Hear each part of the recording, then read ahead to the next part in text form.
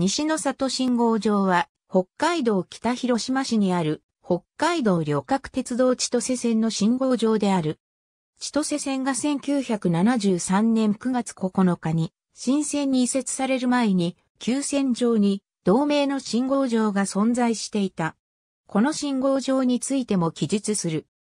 新千歳空港駅開業などによる列車本数の増加に伴い、途中で列車の追い抜きを可能にするために設置された信号場であり、かつては上下線とも本線、副本線が一本ずつで、両方向で列車退避が可能であった。上り線用と下り線用の副本線の有効長が大きく異なり、特に上り線は6両分の有効長しかなかった。当期間は上り下りの副本線の使用を休止し、除雪されていなかった。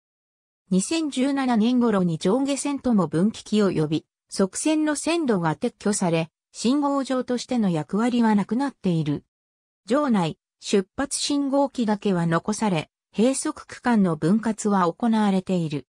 旧線上の信号場は、行き違いを行うための信号場として、上下各一線が設けられていた。移設と同時に廃止された。移転前は、札幌江庭自転車道線沿いの北広島市西の里242の1にある自転車の駅の西側270メートル付近にあった。西側は森林地帯が広がる。